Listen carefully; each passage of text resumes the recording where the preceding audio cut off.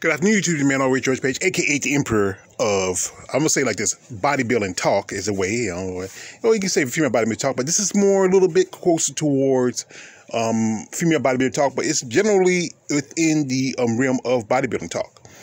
Um, this is I'm gonna shout out to a lady who I've been quite fond of, a beautiful lady, a lovely person, one Miss Jada Beverly, and she dropped me this information um, some time ago that um, there's been a, a, a, some good news for you know women's uh, um, bodybuilding.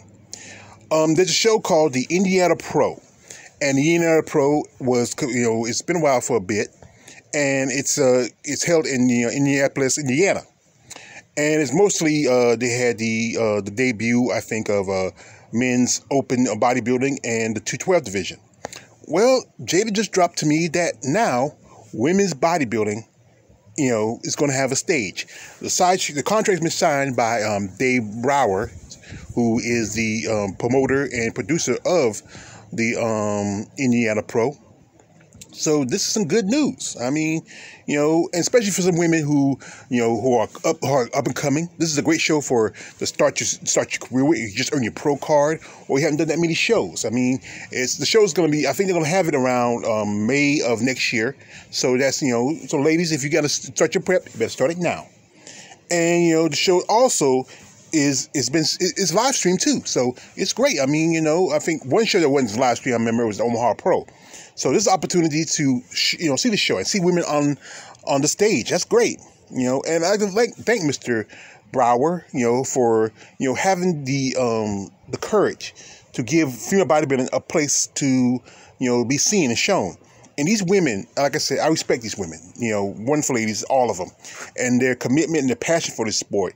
And they sh- they should have a, uh, another stage. And I mean, I think more shows should be added. You know, I think more shows should add female bodybuilding to their um, roster, and that's a great thing. So, like I said, shout out to Dave. Um, Browers. I mean, you know, great guy. I mean, you know, he supports bodybuilding in general, and that's fair. You know, women bodybuilding is still bodybuilding, no matter how you see it. You mean, I mean, some people say there's not a, place for it, there's not a fanship, but there is.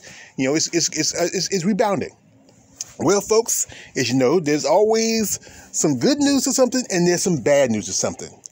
And this I just saw the same day is that the Arnold Schwarzenegger Classic will no longer have women's physique in their lineup. And wow that is just some. And you know, they had this Arnold Schwarzenegger Classic. Uh, maybe was it a, a few about you know, a little bit before the Olympia, and they didn't have women's um, you know physique on the roster. They had men's open, men's uh, I think men's classic physique, and I think they had bikini and they had fitness. So you know, Arnold Schwarzenegger Classic has been around for a long time since it started around about the late '80s, and it's been you know around for 40 years. It was a, it was a, it was a, great show. You know, and, you know, Ms. International was part of that, and Arnold, you know, is a legend. You know, being a seven-time Mr. Olympia.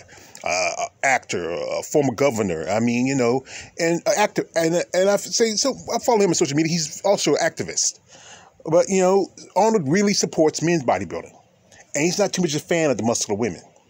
But you know, this is just, and also this is just like a kind of slap in the face. Where now is an invitational, where it used to be back in the day. You know, it was just like any other show. You go there, you compete, and you get a qualification for the Olympia. And now it's all divisions are will be uh, invitation only. So that means that you get invited. That's just cold. You know, and it's mostly going to be, as you know, the uh, four um, divisions that are, you know, kind of, you know, the standard for now for women's uh, women's bodybuilding. You have fitness, which was started about the 90s. Then you have figure, which spun off from fitness. Bikini, which is a little very more popular, and a new division, wellness, where you know wellness is a new division and it's getting a lot popular too. And you know, in, in Miss International, well, the physique Miss International, you know, it took the place of women's bodybuilding when um, back in 2013 at 2013 season when um, Arnold walked quietly behind him and stabbed him in the heart.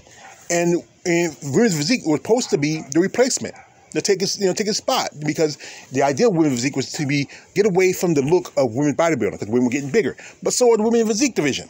So like I said again, Arnold walked quietly behind um, women's physique and stabbed in the heart too, just like he did to the Ms. International.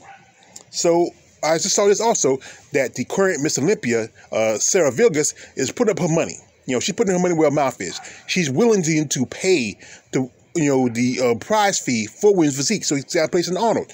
But you know what, Sarah, I wouldn't do that. You know, I understand that the Arnold's a big show, but I wouldn't waste your money on that. You know, right now they're going to focus on your know wellness because it's a it's a more you know feminine looking um, a version of a of a bikini. You know, and bikini is to be popular because the fact is the women look more what the uh, what we might would say what the every, everyday John Q likes and fitness because even though the women are much more just about as muscular, but it's not it still hold retain a bit of femininity, and that's why it still has a spot. But uh, figure, I think you better be careful because I know there's been quite a few figure women who made the switch from figure to physique. So you better watch out. You might get that same um, knife in the back just as well as when physique did. And you know, ladies, you don't have to worry about it. You still have the Olympia. And also, there's another show, the, the Rising Phoenix Slacks Arizona Pro, where there's a place for women's physique. You know, you, you don't need to worry about the Arnold anymore. And this is this is you know this is a good thing because you know you all, we all remember when the IFBB dropped the Olympia, you know women female body from the Olympia, you know the Rising Phoenix took a spot, becoming the women the world's women's bodybuilding championship, and that's great for them. And, and you know like I said, you still have a stage. Just still uh, you truthfully, women's physique has more shows. You know, while women's bodybuilding is still trying to get their footing back in. You know, and this is great with the uh, news with the uh, the Indiana Pro adding women's bodybuilding to their show. So maybe maybe shows might do it. And you know, I was I remember a while back that the New York Pro did the same thing. They dropped women's bodybuilding and also dropped women's physique. But last year they brought back both the shows you know, both divisions, and that's a good thing. You know, I see that that's a, you know that Bev Francis, you know, who runs the uh, New York Pro, you know, it's fair because you know what, she's the one who really changed the sport of bodybuilding.